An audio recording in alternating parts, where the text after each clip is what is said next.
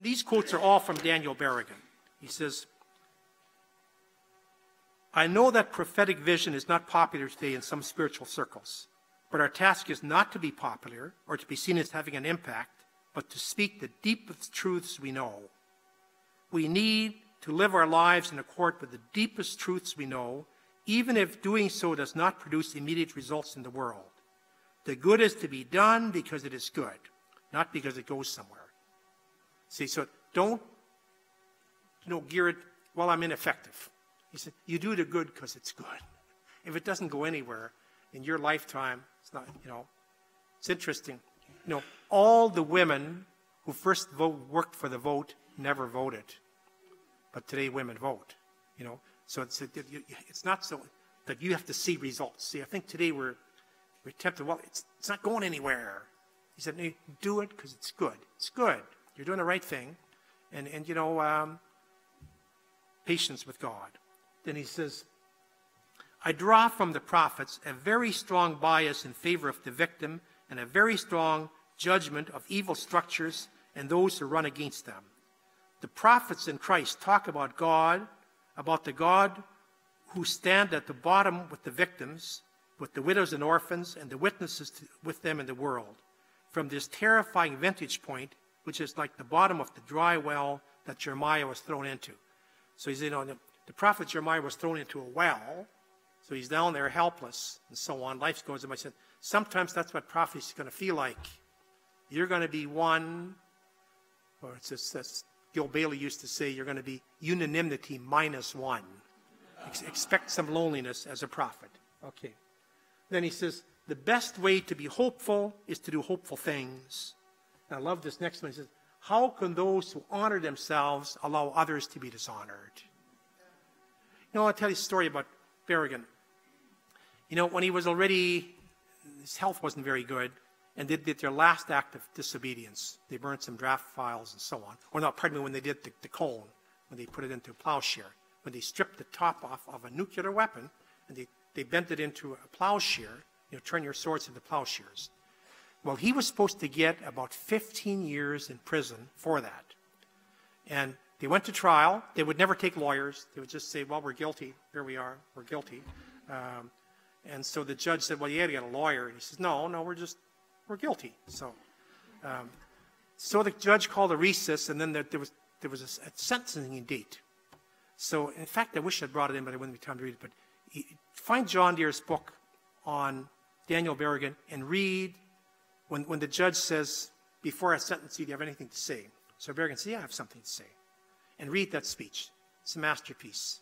And he goes this way. He says, you know, he said, Your Honor, he says, I grew up in a Catholic family. Immigrant, poor.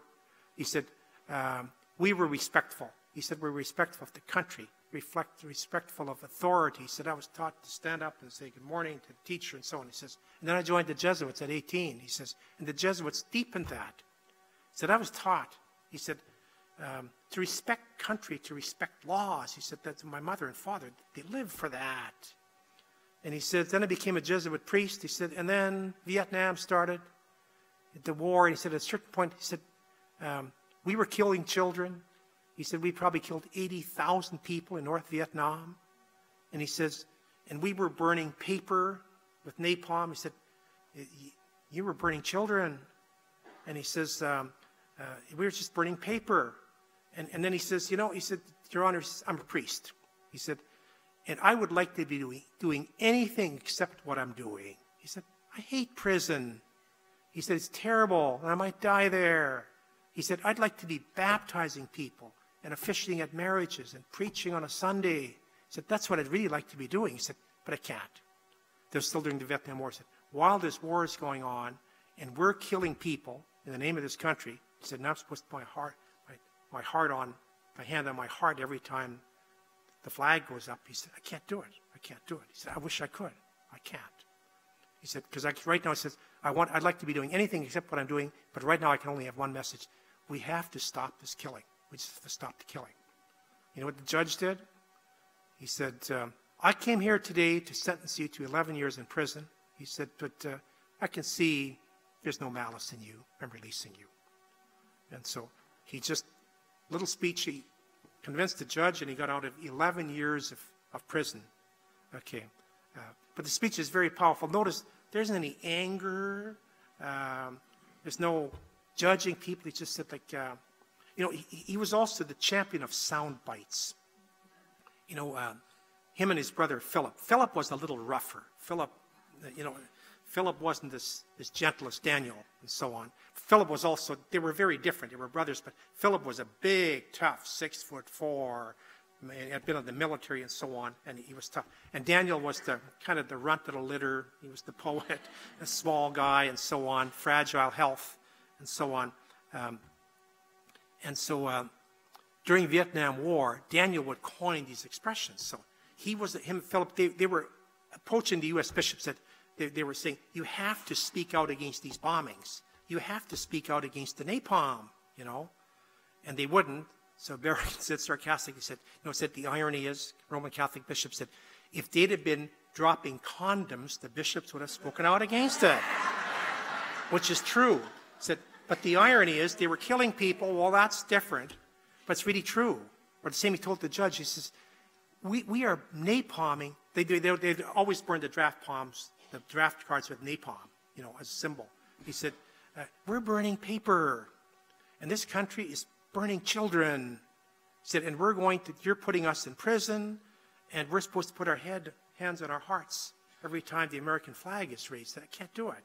Can't do it. The judge liked what he said. The judge said, I came here today to sentence you to 11 years in prison. He said, I got written down here. He said, but I'm releasing you. A couple of more little quotes, and then uh, we're done. But uh, he says, the, the, the saints were right. Their best moments were on the run, in jail, at the edge of social acceptability. That's true. Then, the question is how to love one's enemy even while one's life stands in opposition to him. See, that's the key thing. You got to love the people you're going against. So that's hard to do. So that's the real question. How do you continue loving? You know, you know, a little story from Larry Rosebaugh. He said he was in solitary confinement in a prison outside of Milwaukee for some months. And he said it was the most depressing time in my life. And he said, uh, he said, in, in one bright moment, he said, made it all worthwhile. He said, one Sunday morning, he said he was in the hole in prison. And he said, a guard came in, brought me my breakfast. And the guard says, Father, he said, I'd like to go to confession to you. He said, that's the kind of priest I want to go. He said, it made those years in prison worthwhile. Okay. Then he says, um, I like this next one. The payment for birth is blood. The cost of rebirth can't be cheap.